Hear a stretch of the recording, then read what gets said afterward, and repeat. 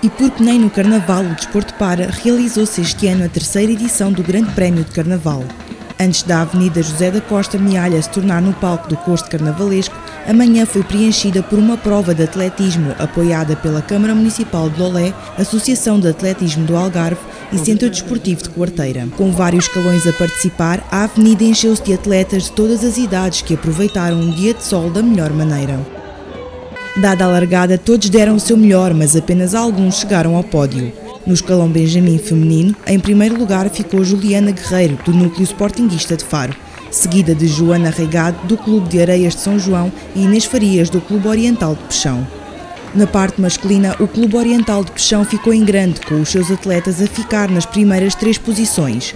O vencedor foi Ivan Candeias, seguido de João Trombim e Diogo Reis. Nos infantis femininos também se destacaram as atletas do Clube Oriental de Peixão. Em terceiro lugar, Catarina Cunha. Ao seu lado, com o segundo lugar, Ednice Barros e a vencedora foi Andreia Pimenta. Nos infantis masculinos, Filipe Guedes e Edgar Cruz, do Centro Desportivo de Quarteira, conquistaram a primeira e segunda posição. Na terceira posição ficou João Marques, do Núcleo Sportinguista de Faro. No escalão iniciados femininos, a atleta Marta Leal, do Clube Oriental de Peixão, foi a primeira a cortar a meta, seguida de Isabel Brás, do Beja Atlético Clube, e Melissa Sena, do Centro Desportivo de Quarteira. Na prova masculina, o vencedor foi André Eugênio, do Clube Oriental de Peixão, em segundo lugar Bruno Ramires, do Núcleo Sportinguista de Faro e no terceiro lugar Paulo Martins, do Clube Areias de São João. No escalão juvenis, na parte feminina, foi o Isal Cafondi, do Clube Oriental de Peixão, que subiu ao primeiro lugar do pódio, ficando em segundo lugar Leandra Gonçalves, do mesmo clube.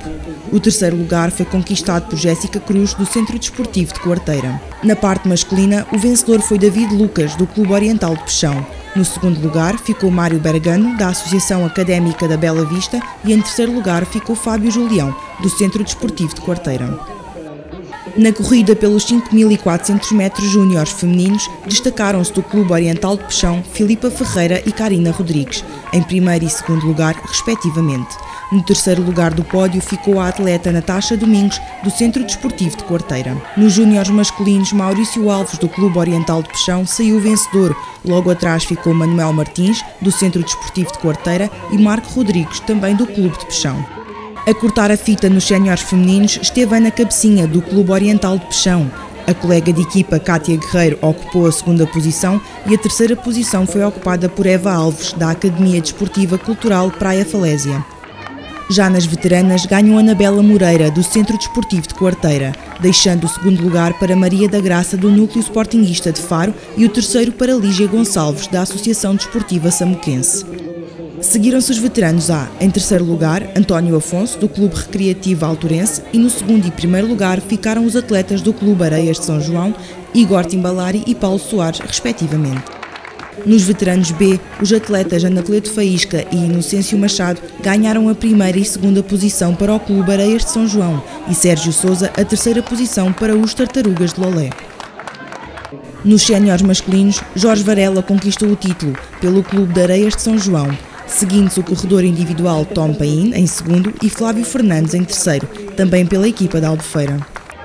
Na classificação final, a primeira equipa a subir ao pódio foi o Clube Areias de São João, com o terceiro lugar, seguindo-se o Centro Desportivo de Quarteira em segundo lugar e a vitória foi para o Clube Oriental de Peixão. Mais que ganhar, o que interessa é participar e esta iniciativa juntou 123 participantes, juntando diferentes gerações na prática desportiva. É seguro.